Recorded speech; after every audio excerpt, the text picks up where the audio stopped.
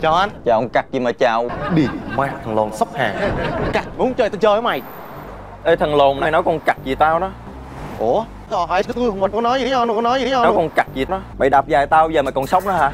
Im mẹ mồm rồi đi Nói tôi ảo hãng tôi đấy Thịt mẹ nữa. Con cặc tao nói mày đạp về tao là mày đạp về tao. Tao đạp về tao là mày đạp về tao. Mày đạp về mày là mày đạp về tao. Tao đạp mày về mày đạp tao. Mày đưa tao 100 đồng tiền bồi thường này con cặc tao đéo trẻ. Con cặc tao thích đập mày luôn á cu. Đi ma thằng này. Con cặc mày đứng đó đi. Tao kêu bạn tao lên đủ má. Chơi với mày. Ủa phúc đâu thằng nào? Đó lồn đó. Vô chơi đi.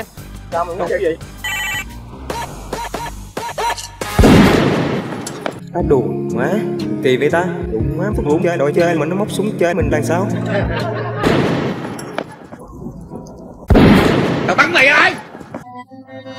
Đi mẹ. Bây giờ phải làm sao đây?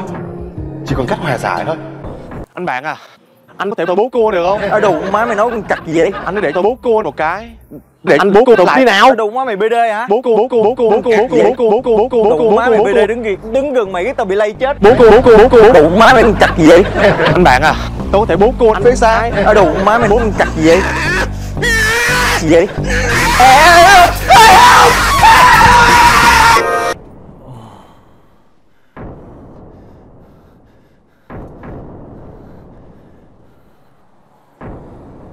Ồ hai anh Phúc, anh khỏe không? anh khỏe anh khỏe anh khỏe Em hâm mộ anh lắm á, em em em thần tượng anh lắm á. Cho- Cho em xin à, chụp chung với anh tấm hình được không? vậy hả con chặt tao đéo Chụp.